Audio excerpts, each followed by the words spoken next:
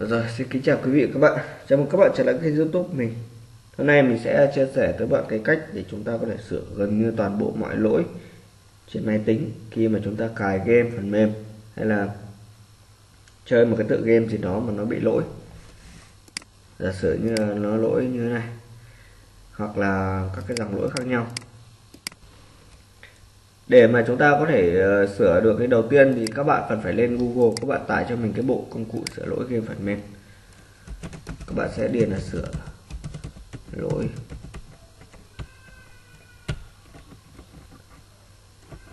game phần mềm. Trong đây thì các bạn có thể vào cái trang blog chia sẻ kiến thức này. Nó sẽ có tổng hợp cho chúng ta những cái phần mềm có 8 à có có 7 cái gói phần mềm nhé. Ở đây, Direct, Netfarm, Work, Microsoft, Visual CC cộng cộng. Đó. Thì các bạn có thể tải từ mục ở dưới này, có link download luôn. Hoặc là chúng ta sẽ tải cái gói chốt này, là nó được tổng hợp hết về rồi. Các bạn sẽ ấn vào đây để tải về.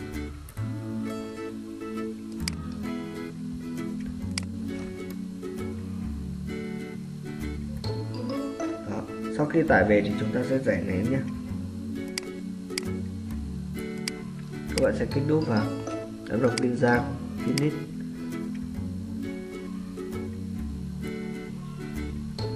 ok, như vậy là đã giải nén xong. Các bạn sẽ mở nó ra.